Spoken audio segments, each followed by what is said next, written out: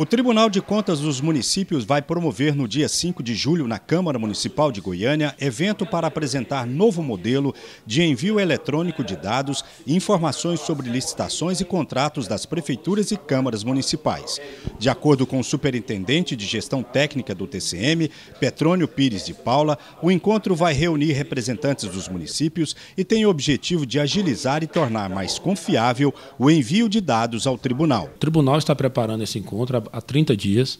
É um evento onde o tribunal vai expor para os representantes dos municípios, contadores, assessores jurídicos, assessores contábeis, representantes de empresas de informática e também membros da comissão de licitação, as nova, o novo inventário da Receita, que é uma exigência da Secretaria do Tesouro Nacional, mediante a portaria 05 de 2015, onde estabeleceu que para os municípios a, a nova codificação da Receita Pública deve implementar a partir do ano de 2018.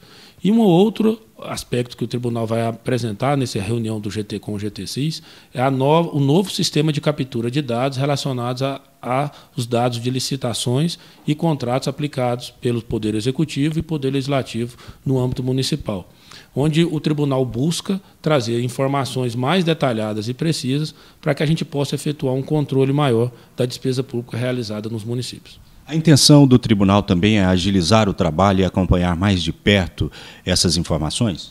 Com certeza. Com esses dados mais é, vindo ao tribunal de uma maneira capturada de uma maneira mais célere, o tribunal poderá desenvolver um trabalho de forma rápida, ágil e poder com, ajudar o município no âmbito de suas despesas, orientando para que esse gasto público seja bem efetuado, com certeza levando o benefício para a sociedade do que mora naquele município. O município terá condições de entender o que é o valor principal de que ele está arrecadando, o tributo que ele está arrecadando, e também o valor que é referente a multas e, multas e juros, valor que é referente ao que está inscrito em dívida ativa e as multas de juros provenientes dos recursos inscritos em dívidas ativas.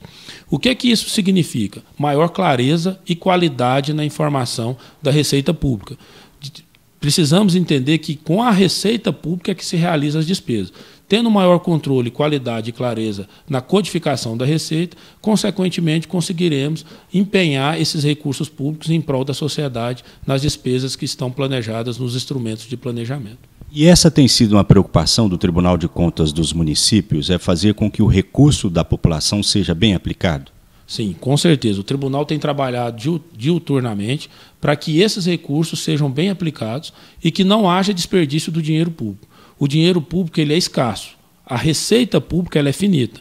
E o gasto não. O gasto, todo dia aparece um gasto na porta do prefeito, na porta do gestor. Então ele precisa ter um planejamento adequado, uma qualidade na informação que ele está recebendo de arrecadação de receita, para que ele possa pegar aquela receita arrecadada e atribuí-la aos projetos que foram estabelecidos na sua gestão, para que seja aplicado da maneira correta, ágil e efetiva para gerando benefícios sempre para a sociedade. O tribunal sempre vai trabalhar no, no sentido de fiscalizar para que o cidadão seja o maior beneficiado do dinheiro público.